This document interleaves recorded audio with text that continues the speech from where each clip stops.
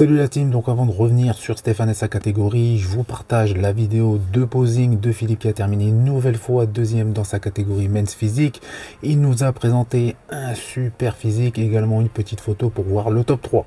Donc difficile de juger un athlète solo sur scène mais en men's physique, plus votre taille est fine avec une largeur d'épaule conséquente, mieux ça sera. Et maintenant avec leurs nouveaux critères, si vous ajoutez une masse musculaire assez conséquente, vous avez le combo gagnant. Et parfois c'est même limite car certains athlètes ressemblent à des bodybuilders en short et certains migrent vers le classique physique. Donc encore félicitations à Philippe pour sa nouvelle deuxième place et bien entendu nous le verrons très prochainement sur scène car il souhaite bien évidemment se qualifié pour Monsieur Olympia 2023 dans la catégorie Men's Physique.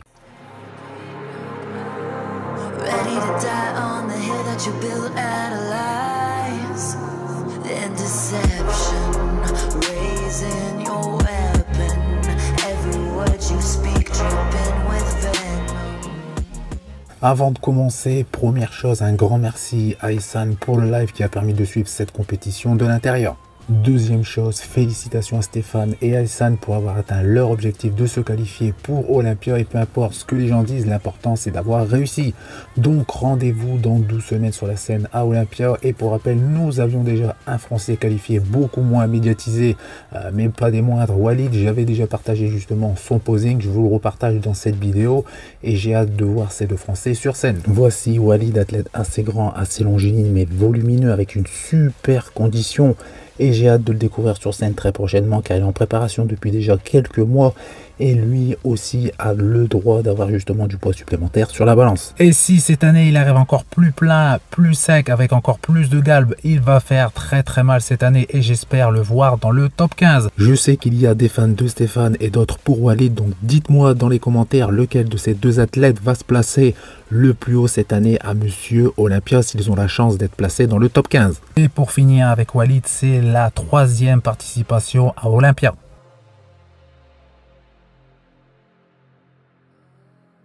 Pour revenir sur la compétition de Stéphane, enfin des vidéos de qualité où on peut distinguer sa condition, mais ne sont que très peu, euh, contrairement aux compétitions qui ont eu aux US, qui sont beaucoup plus médiatisées.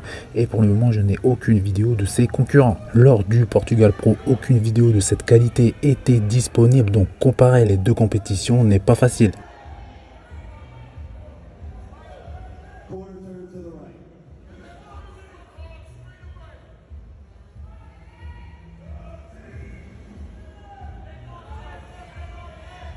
forward turn to the right.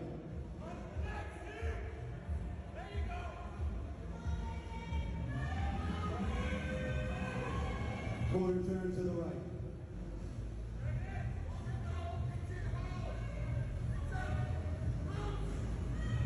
Turn and face the front.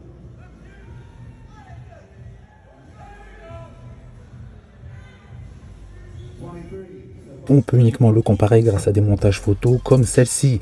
D'après les photos entre le Portugal Pro et le Cheru Classique, je ne vois aucune amélioration en termes de conditions et j'aimerais le voir déchiqueté comme sur les vidéos et photos où il faisait sensation justement sur le net et que tout le monde le voyait comme un des nouveaux champions de la catégorie classique physique. Pour ce qui est du volume, pas de mystère, il a dû en perdre énormément pour être sur scène dans cette catégorie. Stéphane a une belle ligne, il doit travailler pour la conserver, travailler autour de ça pour améliorer son physique, pour revenir encore plus fort la saison prochaine. Et pour rappel, son choix est de rester en classique physique et non en open pour diverses raisons comme la santé. En ce qui concerne les vidéos, on démarre avec celle de son posing et on voit que sa condition est très bonne mais rien d'exceptionnel surtout en classique physique où le niveau de sèche de certains compétiteurs qui ont gagné les dernières compétitions en classique était largement supérieur. Sur certaines poses, on peut s'apercevoir de sa qualité musculaire, mais le teint n'est pas au top et ne met pas son physique en avant comme il le devrait. Côté masse musculaire, j'ai déjà donné mon avis vis-à-vis -vis de son dos et de ses J-chauds, donc je ne vais pas revenir sur le sujet,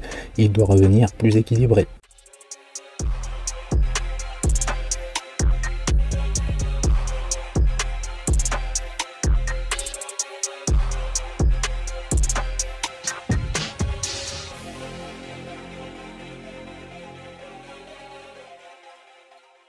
On va passer à ce qui se dit sur le net sur la victoire de Stéphane. Donc beaucoup, mais beaucoup de vidéos et de photos de comparaison avec des euh, athlètes déjà qualifiés pour Olympia et quelques photos et vidéos avec des top athlètes déjà présents l'an passé à Monsieur Olympia 2022 et bien évidemment on va regarder ça rapidement. On commence avec un athlète que je vous ai déjà présenté, il s'appelle Fabio et bien évidemment ça compare le dos, un de ses points faibles. Et pour rappel, Fabio est également un nouveau dans cette catégorie classique physique et a remporté un show il y a très peu de temps et s'est qualifié pour Monsieur Olympia 2023. Ensuite, vidéo avec Ramon qui n'est pas à son prime et un tout nouveau juste qualifié pour Monsieur Olympia 2023.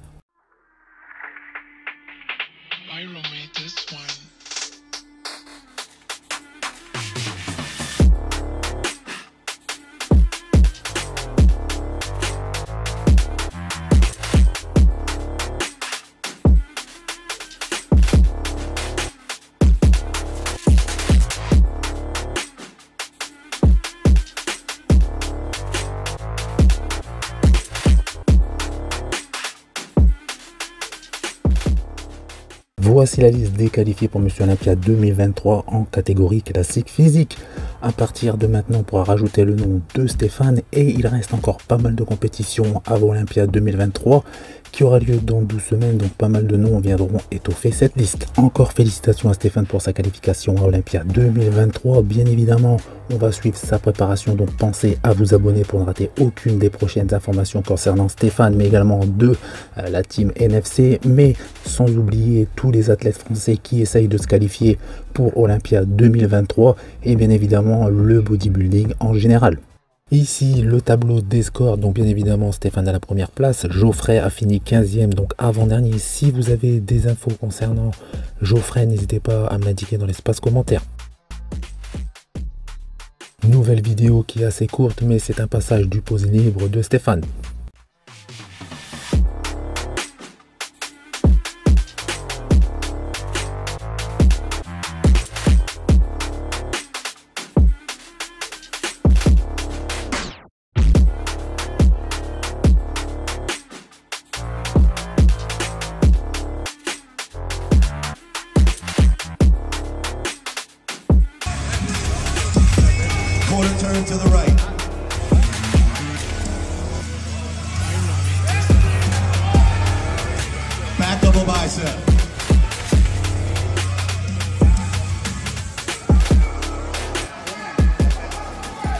J'ai quelques photos à défaut de vidéos de l'athlète qui a terminé deuxième, donc on va pouvoir le voir de plus près, également le comparer à Stéphane. Donc je vous laisse visionner rapidement ces quelques photos de cet athlète et après j'ai fait des petits montages photos pour pouvoir comparer les deux athlètes et on pourra justement en parler un petit peu plus en détail.